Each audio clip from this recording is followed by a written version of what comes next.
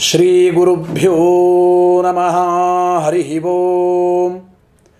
कलत्रं कमलायस्य पुत्रः कमलसम्भवः। शिवाद्या सेवकास्तस्मै नमो विश्वकुटुम्बिने। रामाय रामभद्राय रामचन्द्राय वेधसे। रघुनाथाय नाथाय सीतायाः पतये नमः। सत्याभिज्ञकरब्जोत्थन् पञ्चाशद्वर्षपूजकन् सत्यप्रमोदतीर्थार्यन् नौमिन्याय सुधारतान्। यैरहंशुकवत् सम्यक् शिक्षितोऽस्मि कृपालुभिः श्रीमत्सत्यात्मतीर्थार्यन् वन्दे विद्या मम। आपादमौलिपर्यन्तं गुरूणामाकृतिं स्मरेत्। तेन विघ्नाः प्रणश्यन्ति सिद्ध्यन्ति च मनोरथाः। पृथ्वीमण्डलमध्यस्थाः पूर्णबोधमतानुगाः वैष्णवा विष्णुहृदयाः। तन्नमस्से गुरून् मम। ಸ್ವಸ್ತ್ಯಸ್ತು ಸತಾಮಖಿಲ ಸನ್ಮಂಗಲಾನಿ ಭವಂತು. ಶ್ರೀ ಗುರುಭ್ಯೋ ನಮಃ. ಹರಿ ಓಂ. ಇವತ್ತಿನ ದಿನ ಮಹಾಜ್ಞಾನಿಗಳಾದ, ಶ್ರೇಷ್ಠ ವಿದ್ವಾಂಸರಾದ ಶ್ರೀಮದ್ ಆಚಾರ್ಯರ ಸಾಕ್ಷಾ ಶಿಷ್ಯರಾದ ಮಹಾನುಭಾವರಾದ ನರಹರಿ ತೀರ್ಥರ ಮಹಿಮೆಯನ್ನು ಸ್ವಲ್ಪ ಕಾಲ ಸಂಕ್ಷೇಪವಾಗಿ, ಬುದ್ಧಿಗನುಗುಣವಾಗಿ ತಿಳಿಯುವ ಒಂದು ಪುಟ್ಟ ಪ್ರಯತ್ನವನ್ನು ಮಾಡೋಣ. ಸಸೀತಾಮೂಲ ರಾಮಾರ್ಚ, ಕೋಶೆ ಗಜಪತೆ ಸ್ಥಿತ ಏನೀತಾ ನಮಸ್ತಸ್ಮೈ ಶ್ರೀಮನ್ ರಹರಿಭಿಕ್ಷವೇ. ಏನು ನರಹರಿ ತೀರ್ಥರ ದಿವ್ಯವಾದ ಮಹಿಮೆ. ಆಶ್ಚರ್ಯವಾಗುತ್ತದೆ ಮೈ ರೋಮಾಂಚನವಾಗುತ್ತದೆ ನೋಡಿ.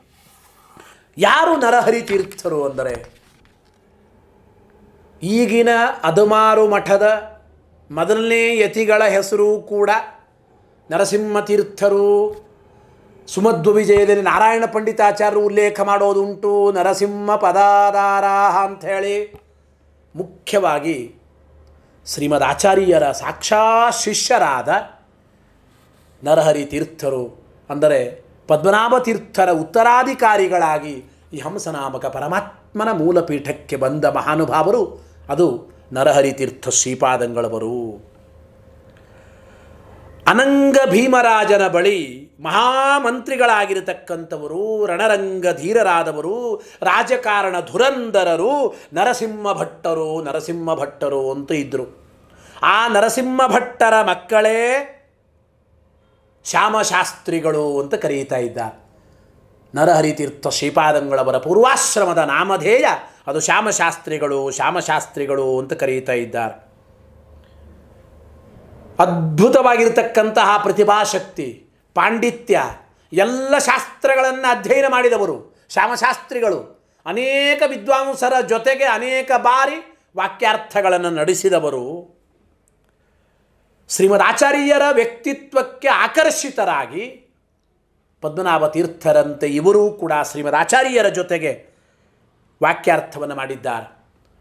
ತ್ರಿವಿಕ್ರಮ ಪಂಡಿತಾಚಾರ್ಯರು, ಪದ್ಮನಾಭ ತೀರ್ಥರು, ನರಹರಿ ತೀರ್ಥರು, ಎಲ್ಲರೂ ಶ್ರೀಮದ್ ಆಚಾರ್ಯರ ಜೊತೆಗೆ ವಾಕ್ಯಾರ್ಥ ಮಾಡಿ ಸಾಕಷ್ಟು ಚರ್ಚೆಗಳನ್ನು ಮಾಡಿ ಪ್ರಮಾಣ ಪುರಸ್ಸರವಾಗಿ ಅನೇಕ ವಿಚಾರಗಳನ್ನು ಮನಸಾಪೂರ್ವಕವಾಗಿ ಪರಾಮರ್ಶೆ ಮಾಡಿ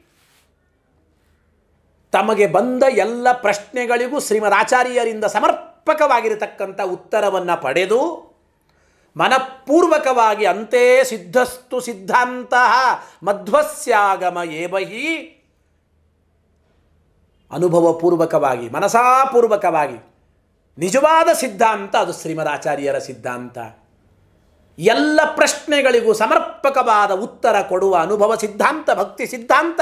ಅದು ಶ್ರೀಮನ್ ಮಧ್ವಾಚಾರ್ಯರ ಸಿದ್ಧಾಂತ ಅಂತ ಮನಗಂಡು ಶ್ರೀಮದ್ ಆಚಾರ್ಯರಿಗೆ ಮನಸಾ ಶರಣಾಗತರಾಗಿ ಆಚಾರ್ಯರ ಶಿಷ್ಯರಾಗಿ ಆಚಾರ್ಯರ ಅಮೃತ ಹಸ್ತದಿಂದಲೇ ಸನ್ಯಾಸಾಶ್ರಮವನ್ನು ಪಡೆದು ನರಹರಿ ತೀರ್ಥರು ನರಹರಿ ತೀರ್ಥರು ಅಂತ ನಾಮಕರಣ ಹೊಂದಿದ ಮಹಾನುಭಾವರೇ, ಇಂದಿನ ಆರಾಧ್ಯರು ಆ ನರಹರಿ ತೀರ್ಥರು ಮಹಾನುಭಾವರು.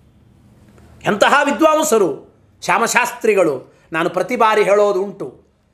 ಒಳ್ಳೆ ವಿದ್ವಾಂಸರಾಗಿ, ವಾಕ್ಯಾರ್ಥ ಪಟುಗಳಾಗಿ, ಅನಂತರ ಶ್ರೀಮದ್ ಆಚಾರ್ಯರ ಬಳಿ ಬಂದು ವಾಕ್ಯಾರ್ಥ ಮಾಡಿ, ಮಧ್ವ ಸಿದ್ಧಾಂತವನ್ನು ಸ್ವೀಕಾರ ಮಾಡಿ, ವೈಷ್ಣವ ದೀಕ್ಷೆಯನ್ನು ಪಡೆದು ಆಚಾರ್ಯರಿಂದಲೇ ಸನ್ಯಾಸ